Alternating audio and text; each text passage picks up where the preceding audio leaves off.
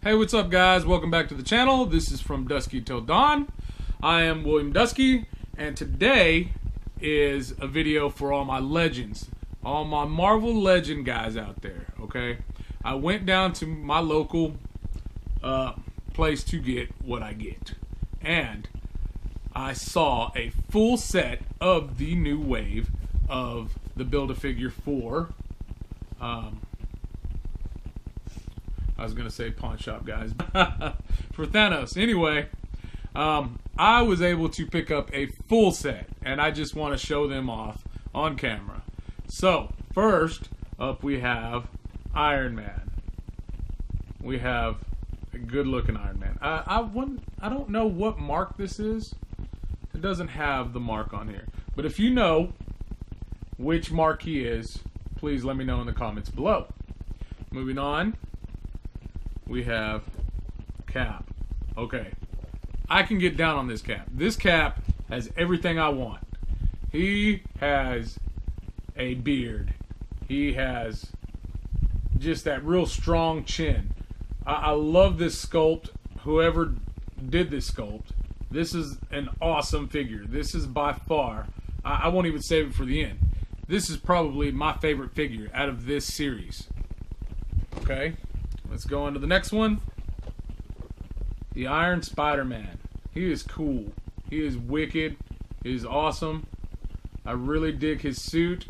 Uh, I like that it's got subtle hints of gold throughout it in the armor, where it really looks like it is armor instead of just his regular leotard, spandex, whatever outfit. But I do, I do like that.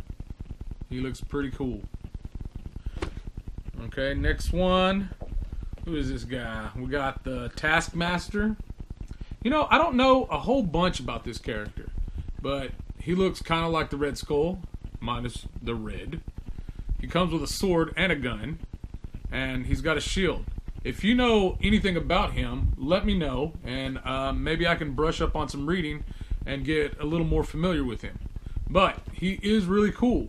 I do like him. He he looks like a like a little pissed off version of Skeletor with an attitude. okay. Next we have Proxima Midnight. And as far as I can tell it's female.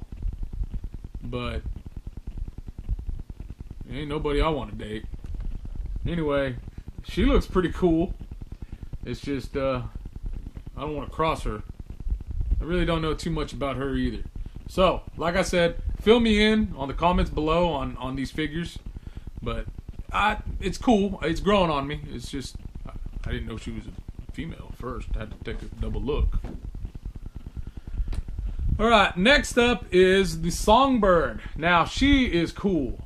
She is, I, I really like the way that they've done some of these, uh, some of the females. They're, they're actually using different different uh, different sculpts instead of just using the same body or anything like that. So I do enjoy looking at um, some of the women on here, how some of their sculpt and and their accessories and and just the way that they're they're done all the way around. I think they're doing a fantastic job. Plus, like I've said before in the past, uh, I have a little girl, and my daughter is getting into the superhero um, Marvel and and all this run, and now it is really cool that they have more female characters that my daughter can play with instead of just Barbie or anything like that. So this is really cool. Good job. And last but not least, we have the Serpent Society.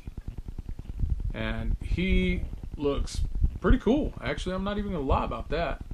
Uh, I like the serpent on his head, on his forehead. The paint job looks really nice. Uh, that deep dark purple on him. Uh, I like his cuffs. He's got some looks like texture, like scale on his arms and legs and stuff like that. Um, and plus, he's got the Infinity Gauntlet. He comes with the piece with the Infinity Gauntlet. So that's that's he's pretty cool. I I like him. His cape's even shaped like a like a cobra. That's cool. But anyway, I just had to show these off. I was excited to see them, and a full set at that. I hardly ever get a full set at a time, and today was just one of those days. So that's awesome. Anyway, this is from Duske Till Dawn, and we'll catch y'all next time. Peace.